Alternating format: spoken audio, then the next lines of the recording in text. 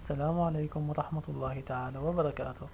درسنا اليوم هو درس المخروط الدوراني من الوحدة الخامسة هندسة وحدة الهرم والمخروط الدوراني للصف الثامن. تعريف المخروط الدوراني. المخروط الدوراني الذي رأسه E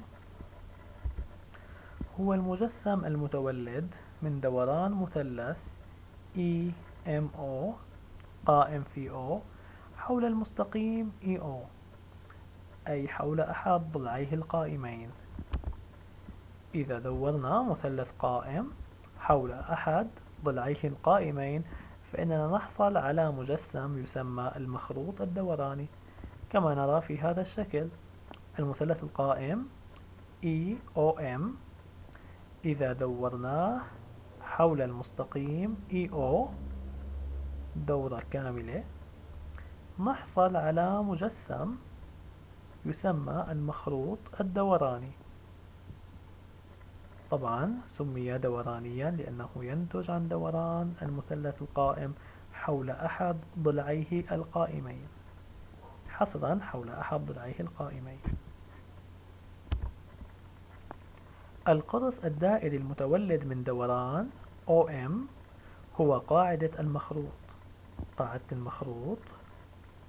هي قرص دائري متولد من دوران الضلع القائم OM عندما ندور المثلث القائم.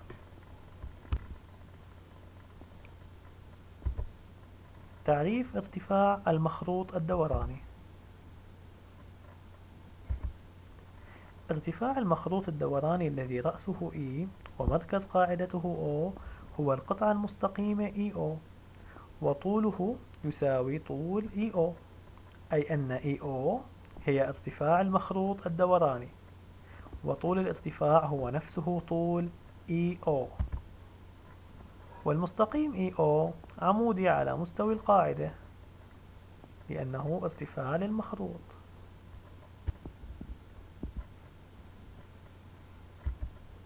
تمرين. EFG مثلث قائم الزاوية في G. وفيه GE تساوي 2 سنتيمتر و GF تساوي 4 سنتيمتر. في كل من الحالات الآتية سمي رأس المخروط وقاعدته. الحالة الأولى ندور المثلث حول EG وفي الحالة الثانية ندور المثلث حول GF طبعا في في كلا الحالتين سنحصل على مخروط دوراني. الحل في الحالة الأولى كما نرى في هذا الشكل إذا دورنا هذا المثلث القائم حول EG فإننا نحصل على مخروط. رأسه E. وقاعدته هي قرص دائري. نصف قطر هذا القرص هو GF ويساوي 4 سنتيمتر. أعيد مرة ثانية. إذا دورنا هذا المثلث القائم حول ضلعه القائمة EG فإننا نحصل على مخروط. رأسه E وقاعدته قرص دائري. مركزه G ونصف قطره GF تساوي أربعة سنتيمتر.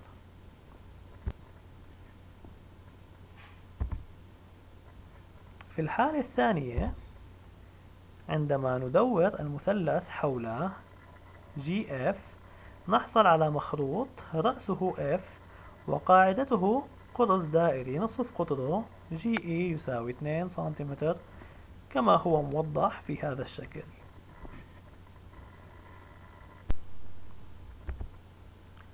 حجم المخروط.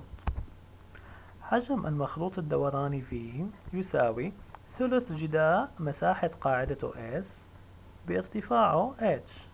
أي V تساوي واحد على ثلاثة S ب H حيث S مساحة القاعدة والتي هي دائرة و H هو ارتفاع المخروط طبعا نذكر بمساحة الدائرة S تساوي PR للتربيع حيث R نصف قطر الدائرة. مثال احسب بدلالة B.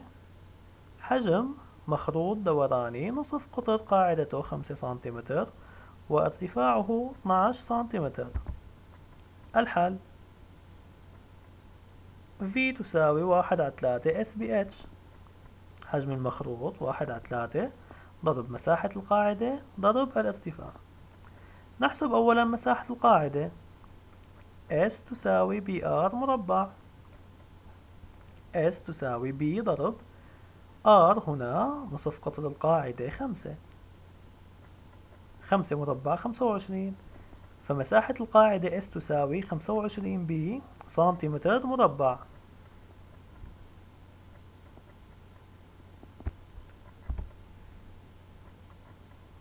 الآن V تساوي واحد على ثلاثة S H. V تساوي واحد على ثلاثة ضرب طبعا S مساحة القاعدة وجدنا أنها خمسة وعشرين بي. ونعلم أن ارتفاع المخروط H يساوي 12 إذا V تساوي واحد على ثلاثة ضرب خمسة وعشرين بي ضرب 12 والناتج هو مية بي سنتيمتر مكعب.